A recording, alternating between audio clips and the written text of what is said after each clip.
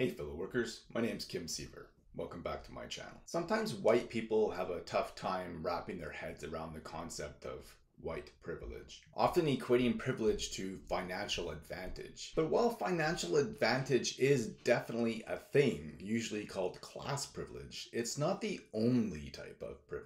For example, if you're white and living in a white dominated society like Canada or the United States, the first time someone sees you, they won't assume you'll have an accent. They won't assume you can't speak English. They won't assume you were born somewhere else or that your parents were born somewhere somewhere else. They won't assume that because you're white, you're a violent threat. They won't assume you have a criminal past. They won't assume that you're addicted to drugs or alcohol. They won't assume you're homeless. They won't assume you're about to ask them for change. They won't assume that because you're white, you'll damage their home if they rent to you. They won't assume that you won't be able to make your monthly payments. They won't assume you're unemployed. They won't assume you're about to steal something from their store. And this is the case if they haven't met you in person but have seen your name, such as in a job application or rental application. If your name sounds white, like Susan Jones or Pat Smith, they won't assume you have a different background. And they'll make all the same assumptions I mentioned previously that you can speak English, won't have an accent, were born here, have no criminal past, and so on. All this can be the case even if you grew up in a trailer park and your single parent worked three jobs to keep you fed and you had to wear hand me downs from your older siblings. While all these assumptions may not end up being direct direct financial advantages, like say having grown up in an upper class family would, they could still end up being advantages. You're more likely to get that job. You're more likely to get that rental.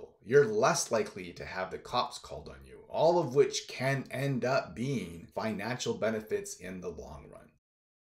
Thanks for watching. Thanks to all these subscribers and Patreon patrons who make this video possible. Please visit my website at kimsiever.ca you can also follow me on social media. Just search for Kim Siever on Facebook, Twitter, Instagram, TikTok, Tumblr, and LinkedIn. If you appreciate the videos I post here on YouTube, the news stories and opinion pieces I write on my news site, or the content I share on my other social media accounts, please become a monthly supporter at kimsiever.ca slash support. If you agree with the points I raised in this video, please give me a thumbs up and let me know in the comments below why. Please share this video, subscribe to my channel, click on the notification bell so you're notified every time I upload a new video, and I look forward to talking to you again soon.